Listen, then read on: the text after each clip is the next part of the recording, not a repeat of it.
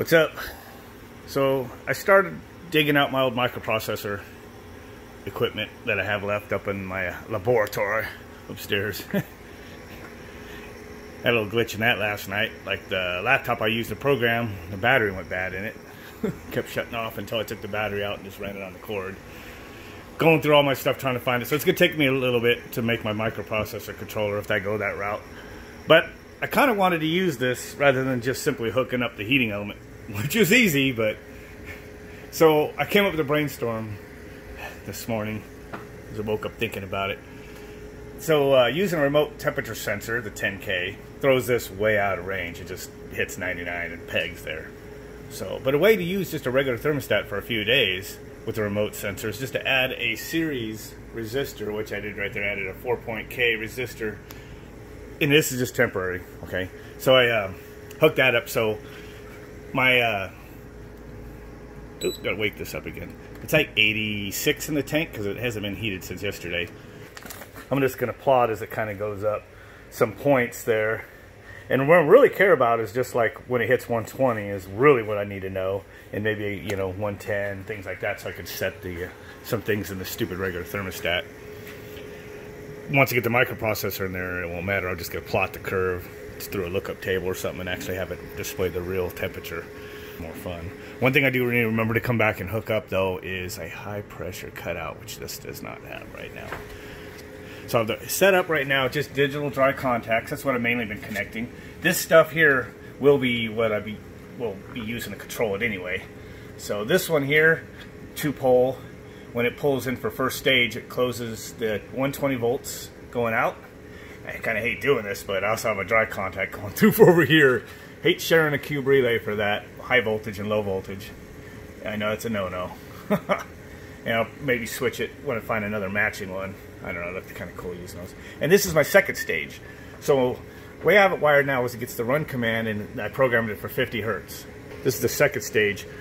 So when it's, this is, I use a normally closed terminal there to hold the, the fan down to slow. But when it goes to high, like say if the tank is less than 110 or something, I want to go to 60 hertz and I want the fan to go up on high. It's going to fully load it. And then once it gets within a couple degrees, you know, the last five degrees or 10 degrees, depending yet, which I'll have more control that one of my microprocessor, um, then this will open. It'll uh, drop this to the 50 hertz and this will also slow down just to reduce the load compressor and everything and to heat up the last couple degrees. So I think I'm ready to run it. Using the Honeywell I don't have any control of the, the on off point between you know it's just you could just change the cycles per hour which kind of changes how long it'll you know run and things like that a little bit. But so I had the fan on continuous there. So let's go to heat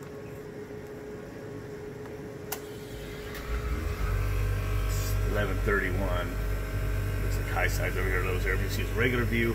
I'm using a couple different thermometers. I think the 397, the 92 degree one, is one I have sitting on the top of our minivan over there. Show you what temperature it is in here.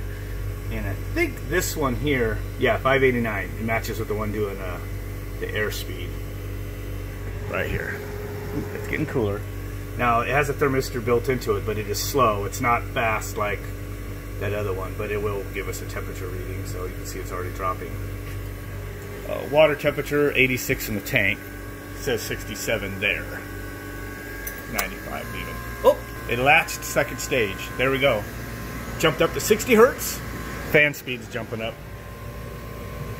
Awesome. So it had like a minute delay, if that. So that's cool.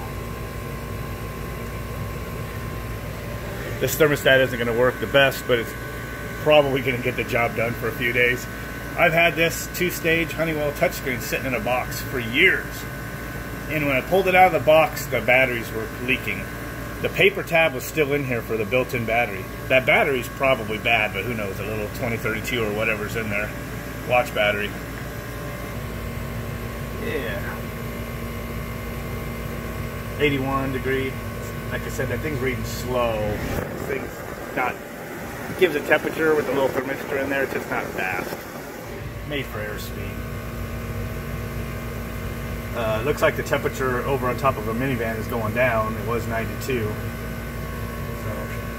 and probe's like 15 feet away. I'm gonna let it run a few minutes to kind of see how it goes. One thing about ECM motors is you can like give a little more static pressure, it will speed up like a mother. Of course, it costs you half an amp to an amp to do that. Look at that airspeed now.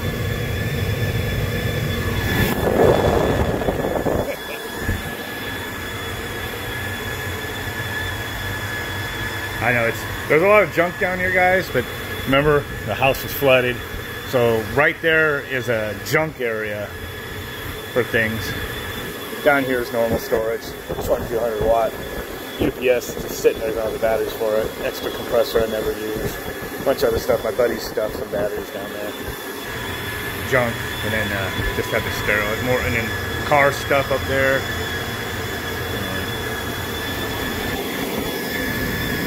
So, uh, blowing out 69. I don't know how good it is let that thing spin that long. I can destroy the bearings. I think it's only meant for uh, probably a less duty cycle than that. So let's watch the amps when I take this thing off. 9.1 almost.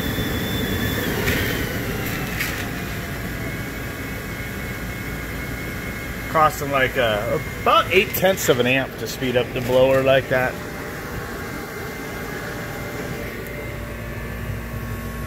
Now that feet per minute dropped down to less than half.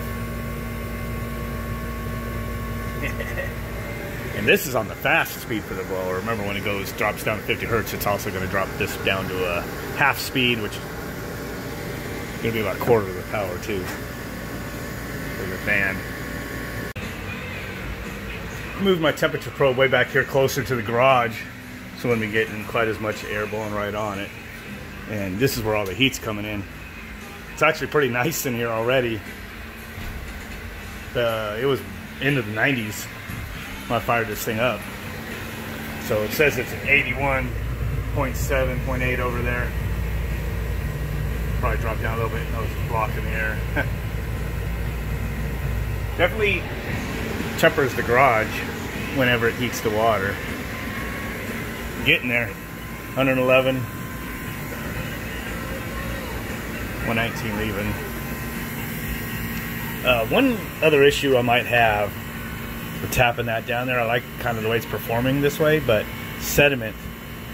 One aspect of it, it's going to remove, keep sediments from building up the bottom of the tank. And if you let it just do that, I'm sure we're to have to just clean out the aerator screens on sinks, and it's going to get into things in the house, so that might not be good.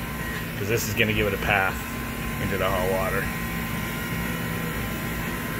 So, uh, anyway, as I've been plotting this, it was a pretty big jump in temperature, but it could be just, you know, how fast it heated up.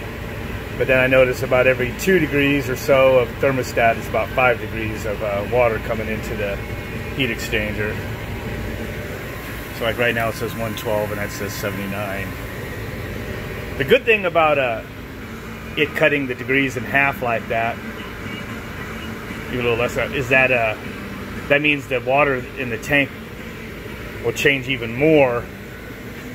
So uh, two or three degrees for every degree that reads, and that's good. That'll slow down the uh, the cycling of the uh, compressor while I'm using this as a temporary controller, so that you can't manually set cut in and cut out like on a commercial thermostat.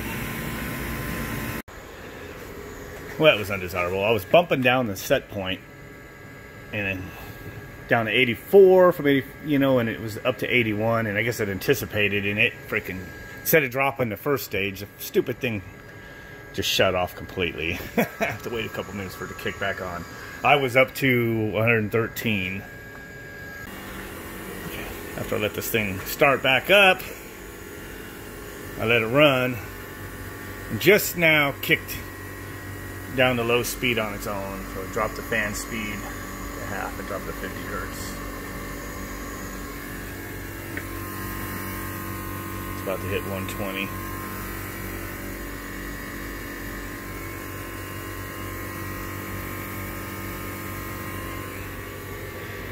So I'll probably set this about a degree or so lower. It should be about right. It's just that I noticed when I was trying to like just drop it down and when I was getting close to the temperature, the thermostat reacts and like just shut completely off. That sucks. And since the bastard did stop on me, I went in ahead and hooked up a safety loop, 24 volts.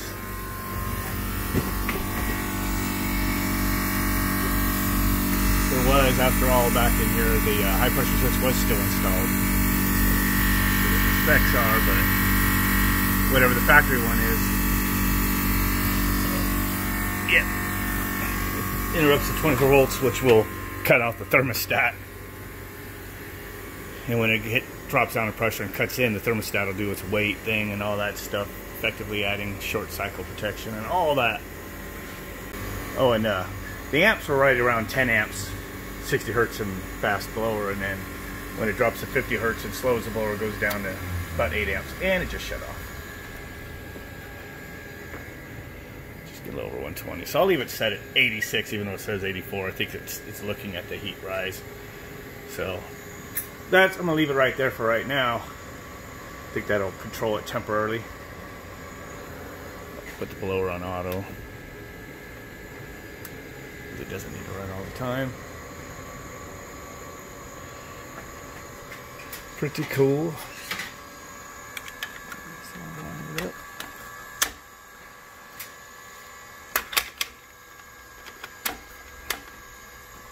Yeah.